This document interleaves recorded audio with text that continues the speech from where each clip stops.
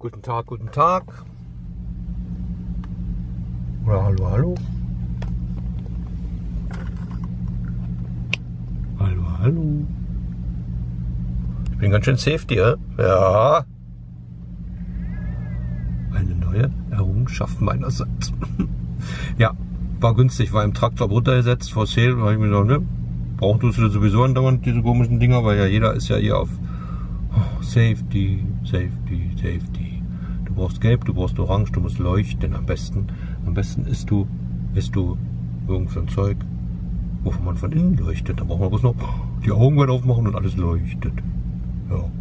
Aber gut, wenn Sie das denn so haben wollen, dann bekommen Sie es. So, da, da habe ich gleich. Ich bin jetzt hier in Balgoni bei einem Flying J.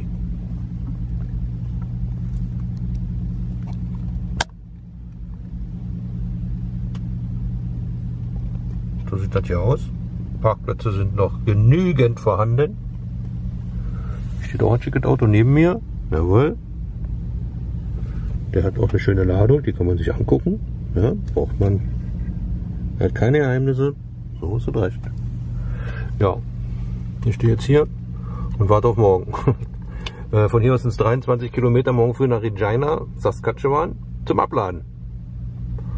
Ja, und dann geht's mit an Sicherheit grenzender Wahrscheinlichkeit leer zurück nach Winnipeg. Und dann machen wir mal Pause. Wir haben hier noch zu tun. Dadurch, dass wir ja aus dem Haus raus sind, ähm, ja, gibt, gibt viel zu tun. Wir müssen die ganzen Adressen ändern bei den ganzen zuständigen Stellen, Behörden und bla bla bla. Führerschein haben wir schon hinter uns. Äh, Bank auch. Allerdings nur privat, weil für Business muss ich erst wieder, habe ich erst wieder einen Termin, das ist am Mittwoch. Ja, und dann, wenn wir das alles soweit haben, denn am Mittwoch werden wir in ein Apartment ziehen bis zum Ende des Jahres, bevor es dann nach Deutschland geht. Ja, und dann schauen wir mal, wie es weitergeht. Da haben wir uns noch nicht ganz so entschieden. Jetzt wissen wir erstmal nur, dass wir Ende des Jahres erstmal nach Deutschland fliegen. Es war ja schon lange nicht mehr, ne? Also, bei mir schon sowieso. Gabi war ja nochmal da, aber ich nicht. Ja, und dann wird Gabi da ein bisschen länger bleiben, weil, ne? Kinder, viele Enkelkinder, na blub blub. Ich muss dann ja wieder zurück nach zwei, zweieinhalb Wochen, weil, ne? Einer muss den Kram ja bezahlen. Ja, so ist das geplant. Was wir denn daraus machen, wird sich zeigen. Ja, alles weitere wird sich dann, wie gesagt, wenn wir denn so nach und nach stückchenweise bekannt geben, wenn wir selber was wissen. Im Moment ist es ja ein bisschen schwierig, ne? Ja. Naja, das war erstmal hier von hier. Mit noch so ein Penner. Blinken da mein Kopfhörer. Masken haben wir auch, ja, man kann ja nie wissen. Und hier steht auch noch. Aber man kann es nicht lesen. Wie viel Bordspannung wir haben. 12,6 Volt. Das reicht. Ja, ansonsten gibt es erstmal nichts weiter zu berichten. Ja, morgen früh geht's weiter. Gute Nacht. Hallo alle miteinander. Sorry, hallo alle miteinander. Wir fahren jetzt auf dem Weg nach Nebraska. Äh, in die absolut letzte abgelegene Ecke, die sie finden konnten für mich. Gut, auch das muss mal sein. Muss es eigentlich nicht, aber naja, was bleibt mir denn übrig, ne? So, ich stehe hier auf einer Restarea, weil ich habe ein paar Minuten meine Augen zu gemacht. Und sehen wir uns mal kurz hier umgucken. Ich weiß gar nicht, ob wir hier schon mal waren. Keine Ahnung. Mal sehen, wie noch sei. Äh, dann wir mal einen kurzen Rundgang machen und dann schauen wir mal, ob es hier was zu sehen gibt. So sieht es hier aus. Aber ich glaube, das ist nicht alles. Hier hinter dem Auto stehen ein paar Leute und fotografieren irgendwas. Und weil ich ja von Hause aus mal ganz schön neugierig bin, gucken wir jetzt mal an, was die da machen. Oho!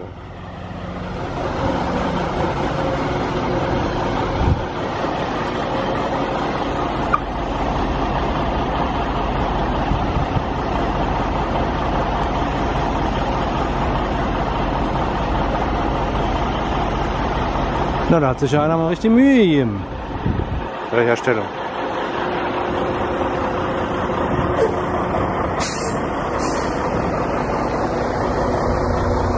Donnerwetter.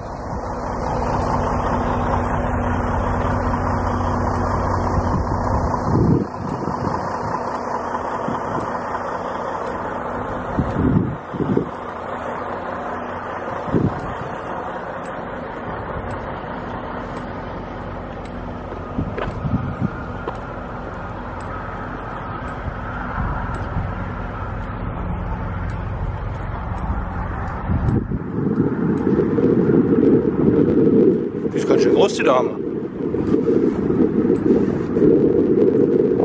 Und wie ich das gerade so sehe, hat man hinter der Dame noch einen riesen schönen Überblick über die gesamte Area hier.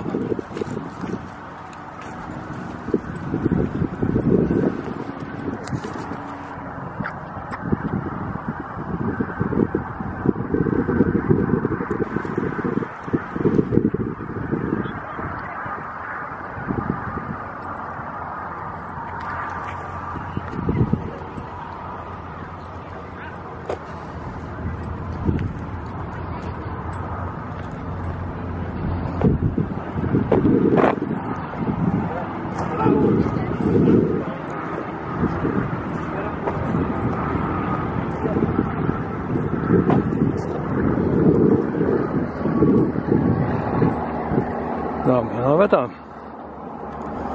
Doch, ich glaube, hier war ich schon mal. Das ist aber schon ganz schön lange her. Ist das? Ein schöner Rücken kann auch entzücken. Das ist ganz schön lange her.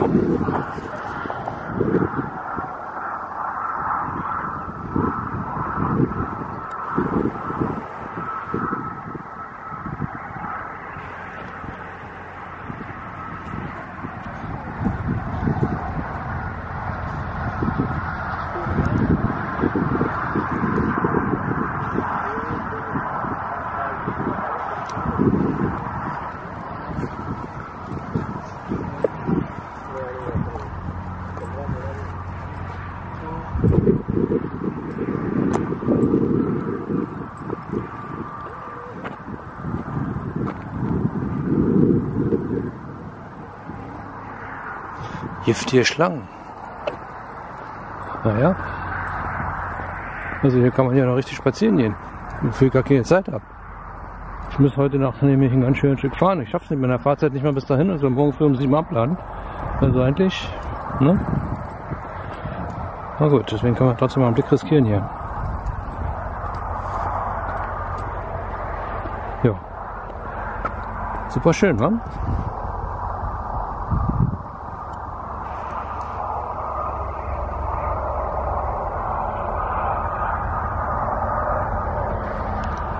Ach komm, so kleine fahren da Da fahren wir sowieso auch gleich lang, in diese Richtung.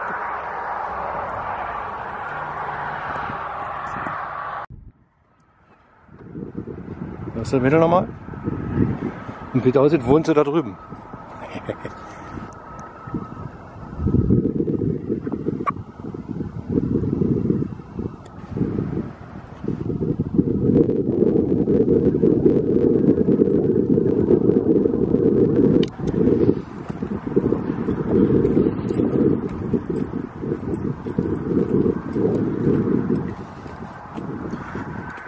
Seinen Hund darf man hier laufen lassen.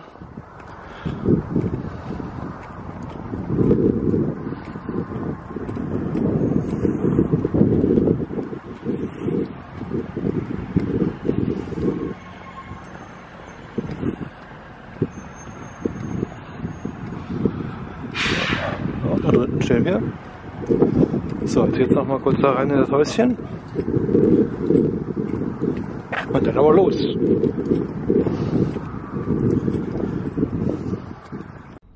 Ja, so ein interessanter Platz hier.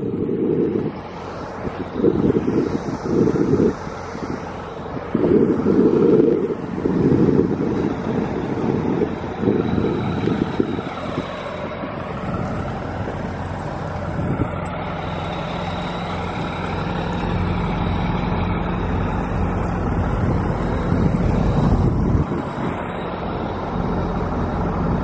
Später mal. So, jetzt sind wir auf der Straße. Da oben steht die Dame. Und jetzt fahren wir hier runter und über den Lake. Vermute ich mal.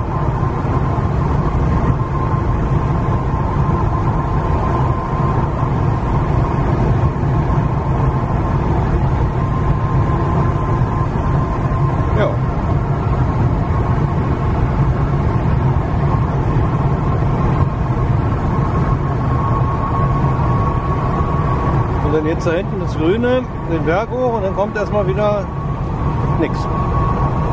Übrigens ist das hier genau die Strecke, die man fährt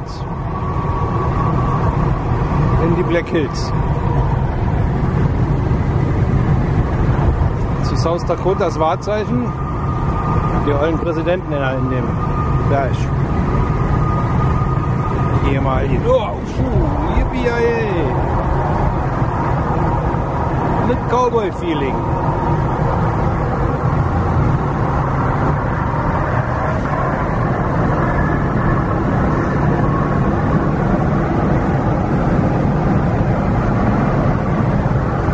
In Ruhe angeln kann man auch hier.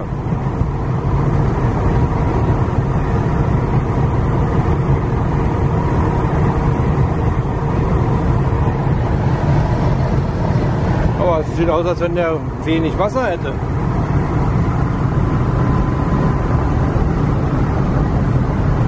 Sind schon zurückgegangen.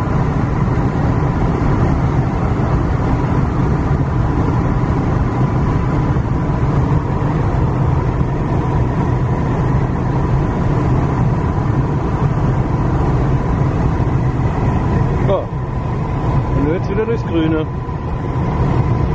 Ja, sollte es noch was Schicke geben, was ich persönlich bezweifle, melde ich mich. Guten Tag, guten Tag. So, jetzt bin ich auf dem Rückweg. Auto ist leer. Jetzt geht es zurück nach South Dakota. Da werde ich laden und das Ganze dann halt mit in Alberta bringen. So ist der Plan. Ja. Noch ist es Nebraska.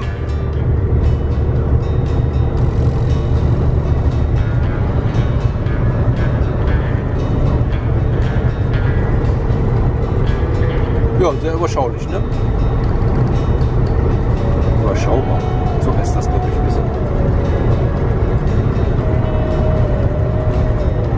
Ja, das Einzige, was hier gibt, hier drin da. Jetzt nicht im Moment, aber da gibt es hier nicht.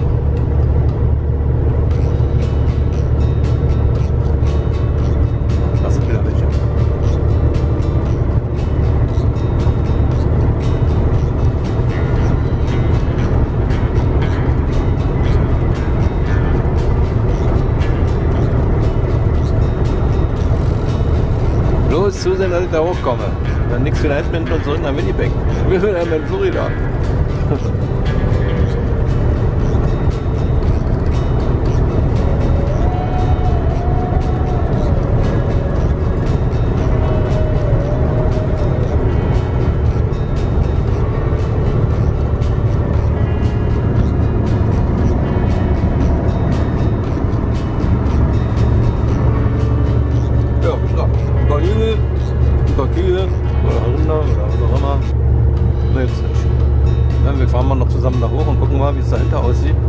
Das wird doch nicht anders sein wie hier, aber ich war hier auch noch nicht. Watch for Crosswinds. Wie soll ich denn Wind sehen können? Sind das Scherzkekse? Na? Falls irgendwo von euch jemand einen Wind sieht, sagt mir Bescheid.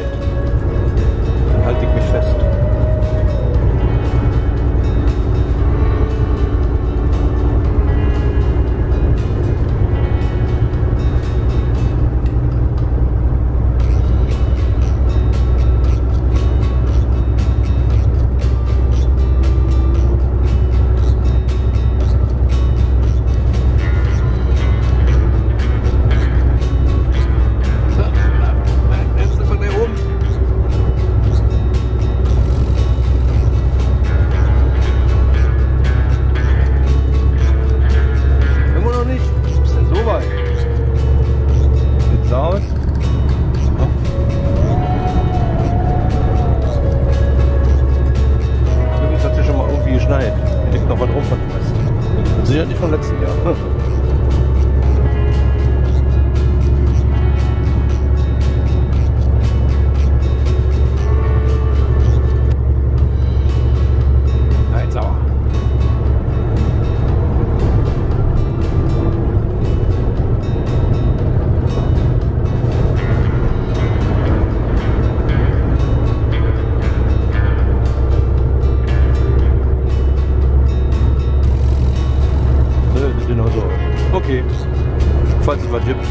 Außer dem restlichen Schnee, sag Bescheid.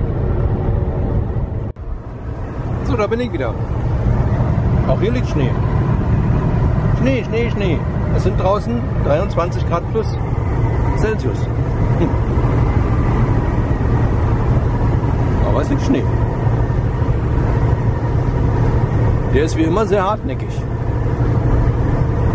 Naja, der fühlt sich ja nicht lange alleine. Es gibt ja bald neun. Haben wir schon Oktober.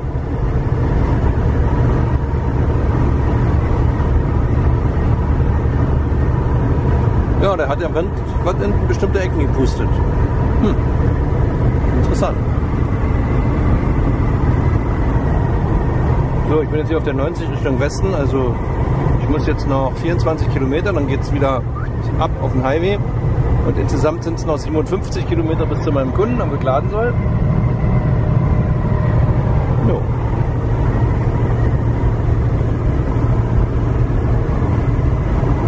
Und da würde ich vorschlagen und anregen, dass ich mich von da wieder melde. Mal gucken, was das für, eine, für, ein, für ein nettes Unternehmen ist.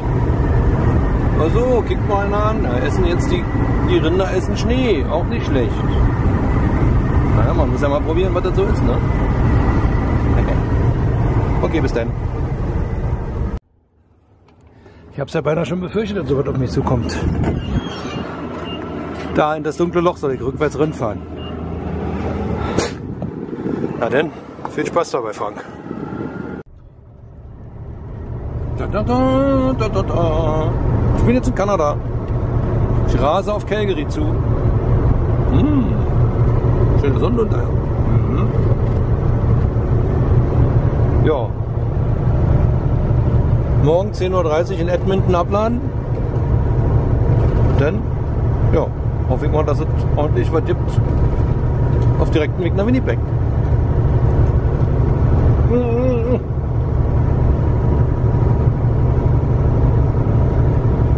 Ja, zu erzählen gibt es leider, also mir gibt nichts zu erzählen, weil es passiert nichts.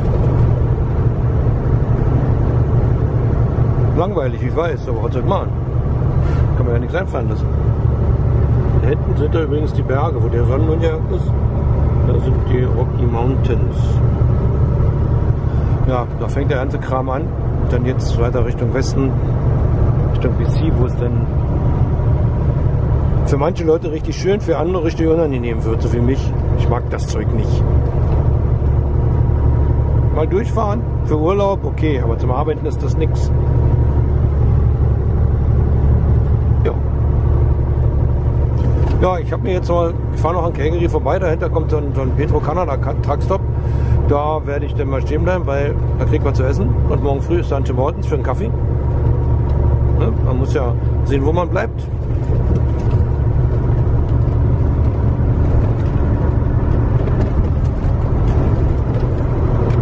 Ansonsten gibt es nicht viel zu sagen. Ach doch, als ich eben über die Grenze gefahren bin, war ich doch verwundert. Sagen wir es mal so, verwundert. Weil die Amerikaner, die US-Bürger dürfen ja, ja, wenn sie voll geimpft sind, mittlerweile nach Kanada einreisen seit letzten Monat. Und da habe ich doch gesehen, dass die dort, wenn sie einreisen nach Kanada, direkt hinter der Grenzbefestigung zum Covid-19-Test müssen. Im Auto sitzend werden sie leider abgefertigt. Komisch. Wenn ich nach Manitoba rüberfahre, da ist das nicht. Also macht auch in der Hinsicht wieder jeder seinen eigenen Kram. In Alberta wird getestet, in Manitoba wird nicht getestet. Wie es bei den anderen ist, keine Ahnung. Ja. Uhu, Berg runter.